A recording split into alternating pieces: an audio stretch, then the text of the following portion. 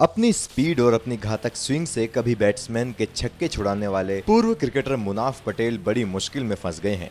जी हाँ, दिल्ली की एक अदालत ने मुनाफ पटेल को चेक बाउंस मामले में समन भेजा है। मजिस्ट्रेट स्निग्धा सरवारिया ने दिल्ली के निवासी सुनील कुमार अग्रवाल की शिकायत पर यह आदेश दिया है। इस शिकायत में पटेल और एक फर्म समेत सात अन्य आरोपियों को एक नवंबर या इससे पहले उपस्थित होने की बात कही गई है। अग्रवाल ने निवास प्रमोटर्स प्राइवेट लिमिटेड और अन्य के खिलाफ शिकायत की, कि पिछले महीने मुनाफ और अन्य द्वारा दिया गया साढ़े पच्चीस लाख रुपए का चेक बाउंस हो गया था। पटेल इस फर्म के निदेशकों में से एक हैं। सुनील अग्रवाल ने दावा किया कि मुनाफ पटेल को कानूनी नोटिस भेजा गया था, लेकिन वे भुगतान करने में विफल रहे। साथ ही अग्रवाल ने बताया कि सभी के खिलाफ उनके पास पर्याप्त सबूत हैं।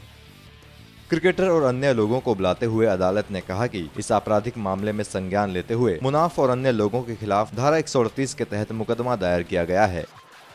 स्पोर्ट्स आर की रिपोर्ट।